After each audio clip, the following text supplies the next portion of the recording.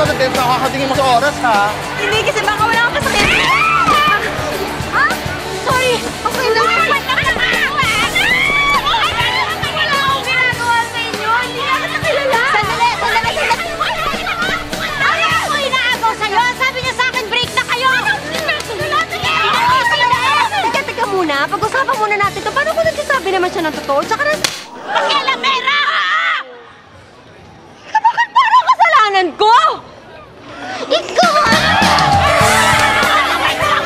Pain brought us together.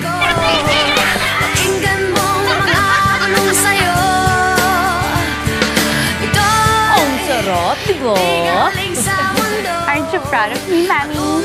Very, very proud. Hindi lalaki ang makakasira sa atin. Walang makakasira sa atin. One, two, three. Will love tear us apart? Are you ready for a wedding?